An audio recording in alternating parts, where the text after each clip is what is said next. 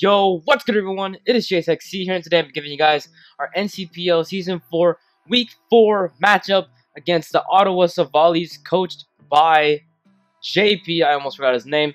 But of course, as yours truly, I am your coach, Chase XC, coach of the Big Island Weasels. As of now, uh, in week four, well, yeah, in week four, we are both one and two.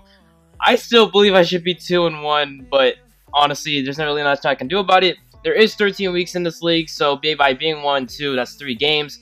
We do have 11 more games, so if we do win out from here, that means yeah, like 11 plus 1. That's 12. We'll, we'll be like 12 and 2. So 12 and 2 is the best record we can go for at this point. And hopefully we can, hopefully, yeah, stop saying hopefully. Damn.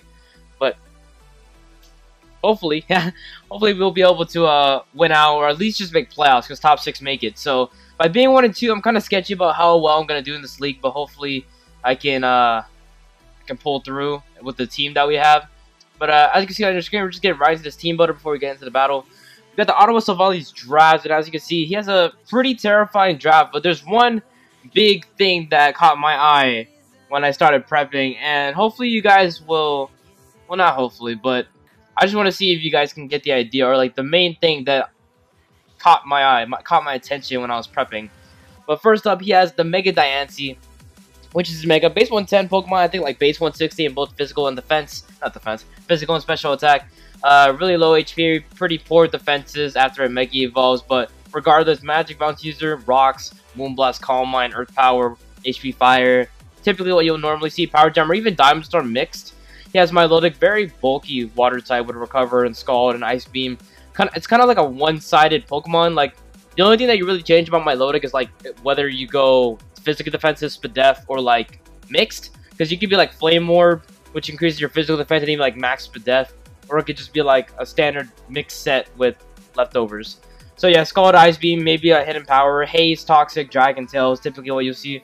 He has Tangrowth, very fat.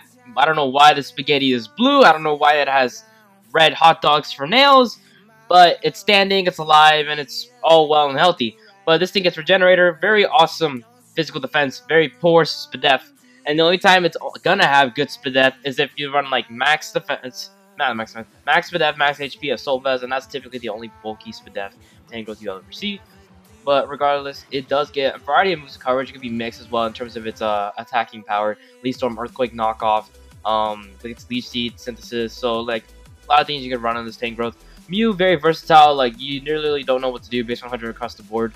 Mamoswine could be rocks. It could be like Focus Sash lead rocks. It could be like offensive with Life Orb, Icicle Crash, Ice Shard, Earthquake, Stone Edge, Superpower, knockoff of the sort.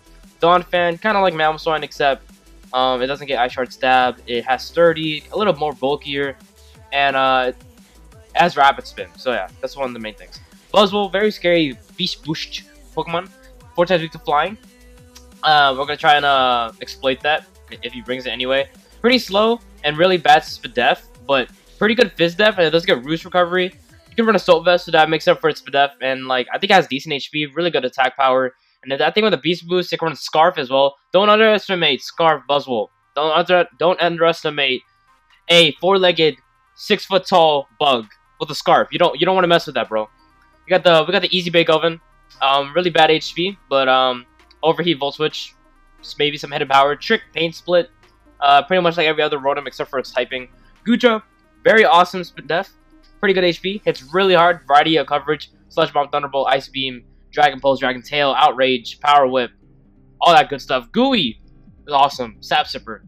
You know, Sap Sipper. I'll give you a hint. It relates to Sap Sipper. Yeah, I already gave away the answer. Um, it has Gengar, cool base 110 Pokemon, very pretty fast, decently fast. Uh, Ghost Poison, no Levitate ability, so you, this thing can catch like some, this thing can catch a Mud Slap and die. Um, Sludge Bomb, Shadow Ball, Thunderbolt, Dazzling Gleam. Um, you can run knockoff if you want to be cheeky. Destiny Bond if you want to be cool. Will-O-Wisp for like a utility set. Crawdaunt, interesting crab. Um, pretty slow, but with the D-Dancer, it hits really hard, especially with that adaptability. Knockout Crab Hammer, Liquidation, Aqua Jet. Porygon Z hits really hard with that Tri-Attack adaptability or download. I wish it got Trace, that'd be awesome. Uh, Tri-Attack, Ice Beam, Thunderbolt, Shadow Ball, Dark Pulse. No Z conversion, so screw that. Terrakion, fast, base 108, uh, rock fighting type, gets rocks as well. Um, could be a setup, could be a setup sweeper with like Rock Polish SD or just SD with Life Orb, Rock Polish with Life Orb, Stone Edge, Close Combat, Quick Attack. And last but not least, he has Alakazam, very fast. I'm pretty sure it's like based on 20 speed. It's really hard. Also gets knockoff. It's kind of like Gengar in the sense where they're both really fast, both really frail. But uh, it gets a variety of coverage. It's just the typing's different, but they share like the same weaknesses. But other than that, let's get right into this. You guys have been staring at this green monkey for a pretty good while now. We got Baldwin, the shiny Simisage, because, you know, we got to bring that shine because we out here. We got the Yache Berry with the Overgrowth because we don't need Gluttony. I don't need Gluttony. I don't need my Yache Berry to pop at 50% when I actually, it won't activate at 50%, but still I don't need it at that moment. But we got the Yache Berry, mainly just for the Mamoswine. Actually, no. Yeah, mainly just for the Mamoswine because that's the only thing that gets Ice Shard. Uh, considering his team, Simisage outspeeds everything except Alakazam, Terrakion, Mega Diancie, and Gengar. So between Gengar and Alakazam, I do have a Drapion, so I don't expect him to bring both. I If he brings either of them, it's going to be either of them. It's not going to be Gengar and Alakazam, because if he does do that, then Drapion just gets like two free kills with Pursuit, because I could just bring like a Max Spadef set with a Soul Vest, bring it in, click Pursuit, something dies, bring it down to a Sash, I do not care.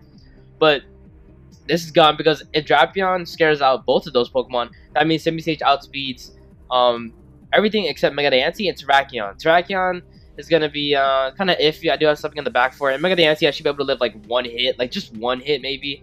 And I can hit it with the Leaf Storm. But we have Leaf Storm knockoff, Giga Drain, HP Flying. Leaf Storms, they hit really hard.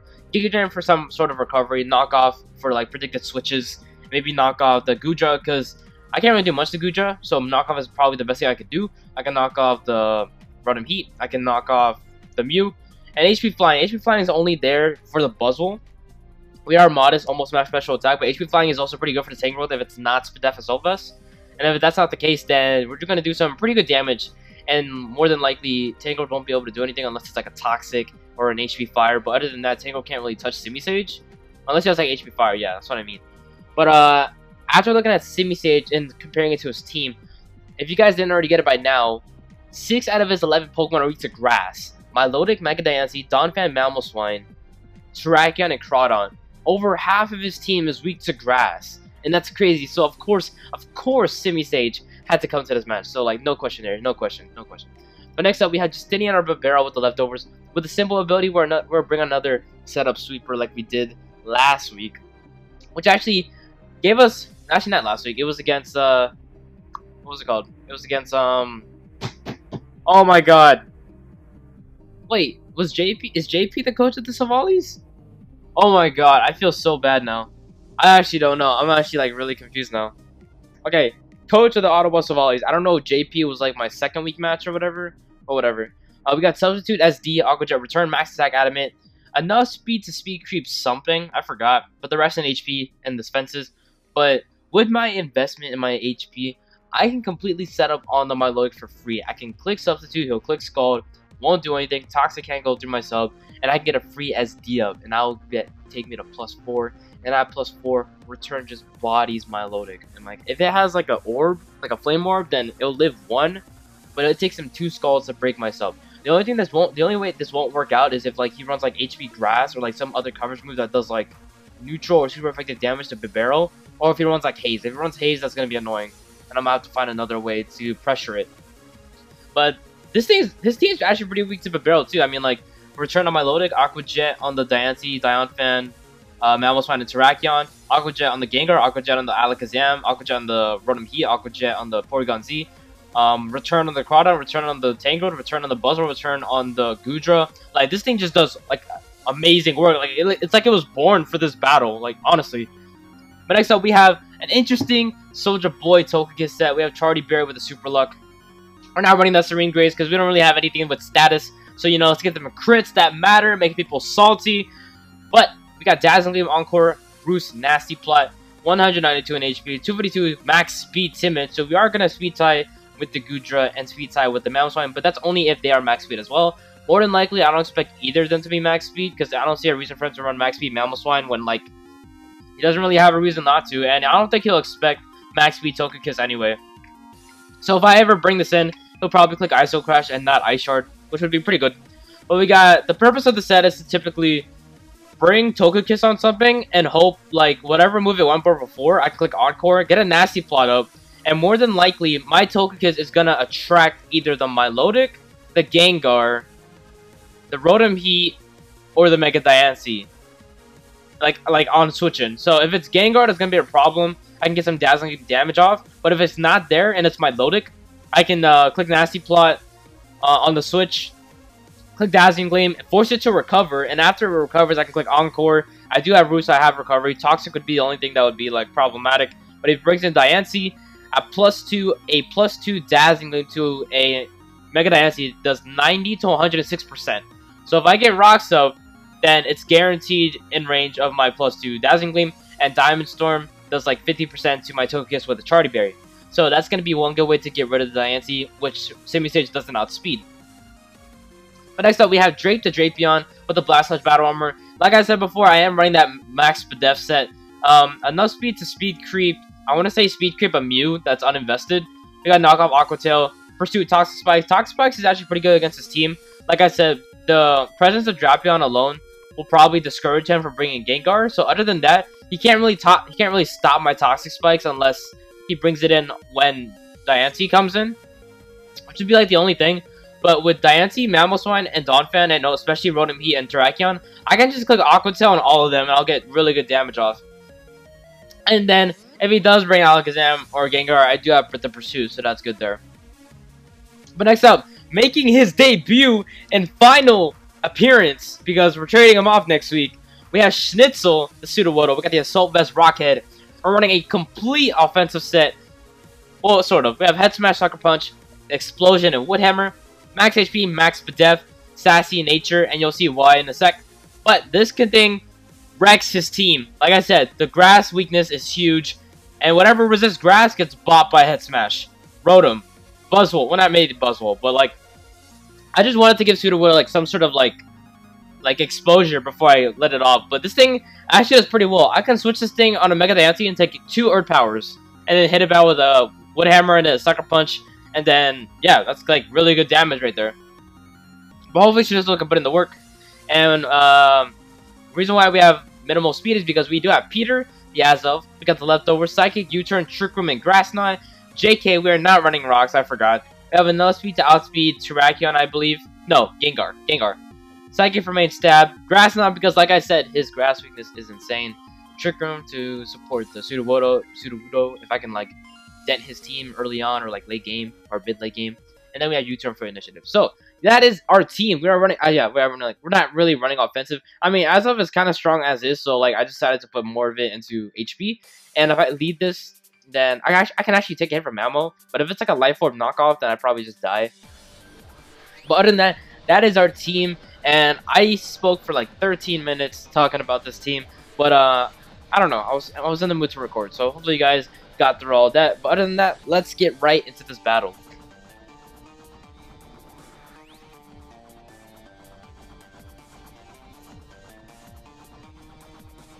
Alright guys, we are back with the battle, and if you guys didn't watch the team builder, I really don't care, but if you didn't you just skipped it, I'm just gonna quickly go over it. We have a Yache Berry for attack, Simisage, a setup substitute for Barrel, an Encore Charty Berry, Nasty Plot, Togekiss, defensive. We got us, uh, I think it's like a Spadef Drapion, Knockoff Pursuit, Toxic Spikes. We got Pseudo Sudowoodo, Spadef, Max Spadef, Max HP, uh, Head Smash Wood Hammer with a Soul Vest, and then we got a bulky Speedy Azelf with Grass Knot. And oh my god, can we just look at his team for a second and just realize, just like I said, this man has six out of his 11 Pokemon are weak to grass, and he brought five of them. He brought, if he just replaced me with Crawdaunt, I swear, I could have spammed like Grass Knot against his whole dang team. But I'm not, because I'm not a dick. So, overall, let's just get right into this battle, and uh, yeah, let's just, let's just, uh, if I can find the play button, yep, let's go with it. So here, I'm just going to leave my Azelf, and at this point, I'm thinking um, he leads with the Mamoswine. So here, I am bulky, and unless he's like Life Orb knockoff, I shouldn't die to any hit he goes for. Um, so here, like, by seeing him leading with uh, Mamoswine, I'm assuming he's to go for his rocks. So we might trade rocks here, but realistically, I'm just to go for Grass Knot and get rid of this Mamoswine, because this Mamoswine is a pretty good threat to my team. I do have Simisage with the Ice Shard, but if I can, like, prevent, like, if I can prevent the Maelstrom from being a threat as much as possible, then that's going to be great. I'm pretty sure at the time I realized that I shouldn't die to anyone here, especially if he's sashed. So here I'm going to go for the Grass Knot, and it does so much damage. He goes for the Icicle Crash, and we freaking slurp that crap, dude. We're freaking shining. We're shining out here, taking Icicle Spears to the face. We don't pop, okay? Peter is here. We take those leftovers, and here I'm going to predict the Ice Shard from the Mamoswine, considering that most of his team is weak to Grass. So I'm a predictor to go for the Ice Shard, and I'm going to go into a barrel. If he goes into Mew predicting the Grass Knot, that's fine. I can go into Drapion. Um, you'll find out. I'll find, find out after the match that that would have been a terrible play. But here I just go for the Ice Shard. I just predict the Ice Shard. He does go for the Ice Shard as I do go into my barrel. And that's a resisted hit. It did 20%. Like, I don't even think he's boosted. It did that much. But here, I'm just going to simply go for Aqua Jet. Considering that I brought set up a barrel against JP in week 2, actually, let me let me actually go for this. Before I started this recording again, I found out that the Ottawa Silvallys is TakAttack and not JP. So, hopefully we got that covered. I'm sorry, um, JP, um, but uh, you are TakAttack. You were TakAttack for a while. I'm sorry, TakAttack, because I forgot about you, and I uh, hope you don't take that offensively. But we have a barrel on the field, and I'm to click Aqua Jet because considering that I brought SD before against JP, um, I don't think he'll allow my barrel to set up freely. So either he's going to stand and click Earthquake or Superpower, he's going to switch out. But here I'm going to click Aqua Jet, just thinking that he might fear the SD. He does switch out into Milotic, which is totally fine because I built this barrel to completely set up on this Milotic. So here, I should outspeed. I'm going to go for my substitute. I do outspeed, and this is perfect because he goes for the Toxic. I do get my leftovers back, and this is definitely the scenario I was planning for. With my EV spread, I should be able to take a Scald, I should be able to take a Resisted Scald, and he showed Toxic, and he has to have Recover, and then I don't know what his other fourth move would be. The only way this doesn't work is if he has, like, some other neutral attacking move like Dragon Pulse or HP Grass, which would be super effective, or he has, like, Dragon Tail. Dragon Tail wouldn't force me out because I'm buying a substitute, and if he has Haze, Haze would be the main thing that would set, that would mess this up. So here, I'm going to go for my SD, and with my simple ability, I will be able to get to plus 4. He brings in the Mew, and this Bibarel is about to show the ancestor of all Pokemon the monster it created. This is your descendant. You created this beaver, this Aqua Jet return beaver. This this beaver just blew back its great, great, great, great, great grandmother. I have no idea. But I just got rid of Mew, and apparently, I found out after the match that I think his Mew was like Z Earthquake or like Z, or like Tecno Tectonic Rage or some crap like that just to handle Drapion. So that's really great prep on his part. I want to commend him for that because I would have brought in Drapion because Drapion is my initial switch in. So just using, just setting up with a barrel against Milotic and forcing the mute to come in, that's amazing. Just simply amazing. And he has an headbutt, so he had to have Earthquake, so he was definitely offensive. But here he brings in a Donphan, and I'm not gonna risk I'm not gonna risk, uh, I'm not gonna waste my time just like clicking Aqua Jet return because I know this thing has 30 most likely, and I want to preserve this thing for later on because if you look at the team, four out of five remaining Pokemon are weak to Aqua Jet, and one of those, and the Pokemon that isn't weak to Aqua Jet, I set up on. So this is a very, this is basically my win con, like one of my main offensive pressures, which is crazy because it's a freaking Barrel. But here, I'm going to predict the Earthquake. I'm going to go into my Togekiss. He does go for the Earthquake, and that is simply amazing because if you watch the Team Builder, my set is Dazzling Gleam, Encore, Roost, Nasty Plot. If I can Encore this Donphan into clicking Earthquake again, I can get a free Nasty Plot up, and I will potentially be able to kill something. I can kill the Diancie, potentially. I can uh, pressure the Milotic, and I kill the Mamoswine. And with the Charti Berry, I should be able to OHKO either Diancie or Terrakion. So here I'm gonna click on Encore. Unfortunately, he's gonna switch out because he said he wanted to preserve his focus, his uh, sturdy. But here I am max speed timid, and he probably didn't realize that. Hence the why he didn't go for Ice Shard. So we are able to pick it off with a Dazzling Gleam. He probably wasn't expecting me to be a speedy Togekiss, but we are, because we, we be jetting through this whole entire battle. I don't know, Jet, Jet, Jet, Jet Boy. Like, everyone, anyone saw, like, JJ the Jet plane? That was very scary. Like, you ever seen those faces on those things? Like, it's freaking... I don't even want to think about that anymore. Like, apparently I liked it as a child, which is crazy. I mean, like, freaking Teletubbies, like, that's a different one. Like, that was freaking awesome. But he brings in Diancie, and I'm going to preserve my Charti Berry because that Terrakion is Scarfed. It could be a problem. So if it is Scarfed, I'm going to preserve my Togekiss for later because it does have the Charti Berry. So here I'm going to switch out into my Sudowoodo. I should take any two hits that this Diancie throws at me. And he goes just for the substitute. And that's actually great because Woodhammer didn't OHKO anyway. So I can click Woodhammer, take a hit, take less than 50% from a hit, break the sub, click Woodhammer the next turn, kill it off, and live any hit. The only thing the only thing he can like do is of like is like physically max physical offensive with Diamond Storm. That would 2 kill me, I think. But here I would simply go for Woodhammer. He goes for Moonblast, not Earth Power, and we slurp that up. Schnitzel is here, making its debut, taking on Tier 1 Megas out here. And like here, he goes for Diamond Storm. So the only way this doesn't work out is if he gets the plus 2 defense from the 50% chance or he pulls out a random reflect. He goes for Diamond Storm. I hope for no defense increase. I'm gonna go for my Woodhammer. Goes, he gets the freaking. Okay, so I'm gonna tell you right now. We drop Sudowoodo next week. After this battle, we drop Sudowoodo. And I was so freaking hyped for Sudowoodo to make its debut, get a damn kill, and it's not gonna get a kill. Sucker Punch ain't gonna kill. I'm not gonna bother. And he goes for Moonblast and Sudowoodo dies because of a defense increase. So yeah, that, that was kind of stupid. But it's alright, because Sudowoodo, even though it was the first to die, put on a lot of pressure on this Diancie. And you gotta get, you gotta give props for the freaking tree, man. For the freaking candy bar green tree, alright? So we bring in Peter, we outspeed his whole entire team unless that's Rakion Scarf. He has no switch situations, I'm gonna go for my Grass Knot, and we do kill the Diancie. Crit did not matter, I think I was gonna die anyway. But here he brings in the Terrakion, and I'm gonna preserve this Azelf for later in case Milotic becomes a problem, but I do have a Simisage, so I highly doubt it. But, um, apparently Trick Room on Azelf was apparently useless, but it's okay. I am gonna go ahead and go into my Drapion. It's my most expendable Pokemon at this point. He does miss a Stone Edge, unfortunately, and, um, I don't like, I didn't know if he was Scarfed or not, because the Stone Edge missed, so like I don't know what he is. He could be banded, he could be scarfed, he could be life orb for all I know.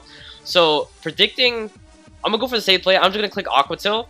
He apparently switches out, so he probably is scarfed. I go for Aqua Tail and he brings in on Milotic, and this is totally fine because since the Donphan still has its sturdy, I can break it with this Toxic Spikes that I just put up, and all I need is one Toxic Spike. I just need one. And one, one, one is better anyway in this scenario. I'm gonna go for knockoff. I'm basically sacking my Drapion and going for knockoff. I'm pressuring this Milotic to the point where I'll force it to recover, and on the following turn, as it recovers, I will go into my Bibarel, as you guys see. He does go for the recover, I do outspeed, and this is basically GG at this point. He he really doesn't have anything to take this on. I forced out the Milotic last time, so he doesn't have Haze. Scald doesn't break my sub, and I mean, you guys can just watch. I am just you can just watch this Bibarel setup. I am plus four. He gets a crit Scald on the second Scald he goes for, which he should have gotten the first time if he wanted to like pressure me more. But I'm going for substitute again. Scald doesn't break my sub, and it's gonna be kind of repetitive. But here I'm gonna get to plus six just to be safe. Just to be safe, sort of. I, I probably should have just stayed at plus four. We are a plus six Bibarel, and we out here. We have four legs. We got this horizontal 90 degree perpendicular tail on our ass, and this Milotic is still going for Scald. We do outspeed, we're at a decent amount of HP, and this is where Bibarel just cleans. We go for return, Milotic goes down, and GG. I, like it's it, like I wouldn't say GG this early, but like realistically, there's like really there's really not that much he can do. I go for Aqua Jet. It doesn't OHKO, but that's fine. He goes for Rapid Spin, gets rid of the Toxic Spikes. But realistically, I just wanted Donphan to die, and that is a kill for Drapion because it died to poison. I go for Aqua Jet unless he's sashed. He will live and take me out, but he's not sashed. And Justinian, the Bibarel, is going to pick up a nice 3-0, not 3-0, but like, it's going to take a, a, nice little sweep in the end.